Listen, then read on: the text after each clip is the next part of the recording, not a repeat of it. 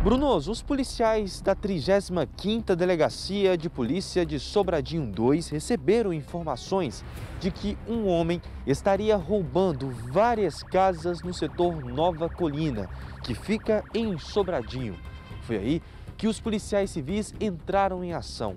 Conseguiram identificar um homem através de imagens de câmeras de segurança. E foi exatamente neste momento perceberam que esse homem é um velho conhecido da polícia, com mais de 20 passagens por vários crimes, roubos, furtos e até tentativa de homicídio. A equipe policial constatou que o mesmo indivíduo teria furtado várias outras residências na mesma localidade.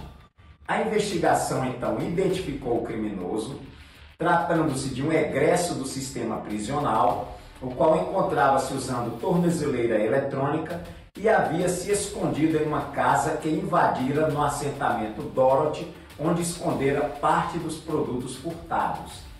Na casa do criminoso foram recuperados dois aparelhos de TV, ferramentas, peças de vestuário, dentre outros bens produtos de furto. Na maioria das vezes, o autor agia do mesmo jeito, sempre utilizando um carrinho de mão para facilitar os furtos. Lá, ele colocava televisões, objetos mais valiosos, aparelhos de som.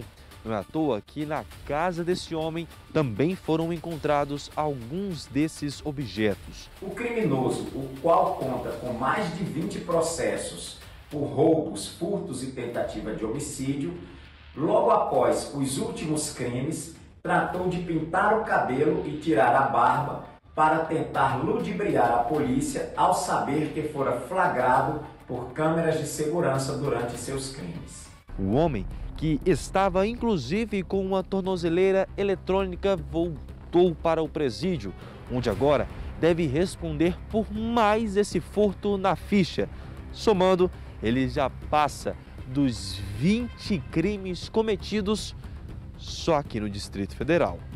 DF Alerta, há 10 anos na TV, jogando a real para você.